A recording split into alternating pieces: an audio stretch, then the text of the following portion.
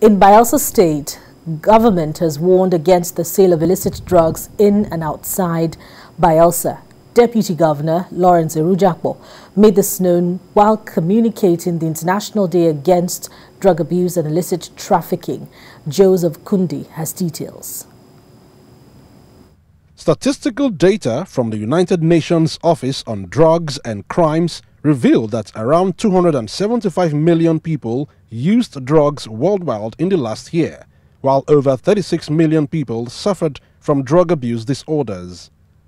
This disturbing trend, perhaps, is what has informed the Bayelsa state government to increase sensitization on drug abuse. Deputy Governor Lawrence Ewhrudjakpo leads this year's campaign by embarking on a 5-kilometer road walk warns against the sale of illicit drugs in the state. The message to everybody that we should shun drug abuse. The next message is that you don't need to be like their brothers who are taking drugs because once you divert from what you are, you are no longer yourself, you become a second-class citizen. And nobody wants to become a second-class citizen. And the other message is that all those who sell and peddle drugs should wait for the Bayelsa Committee on Drugs. We are coming to meet them at the point of their need. Public campaigns on the dangers of drug abuse have been categorized into three phases.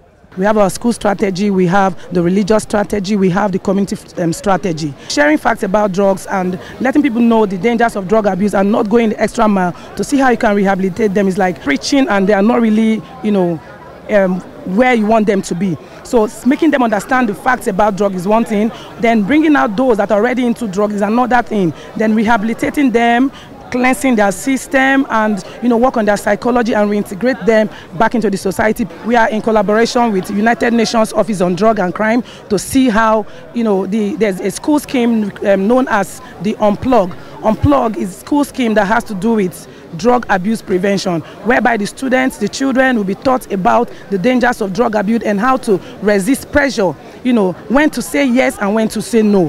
The Bayelsa state government have since inaugurated an eight-member committee to curb the menace of drug abuse in the state.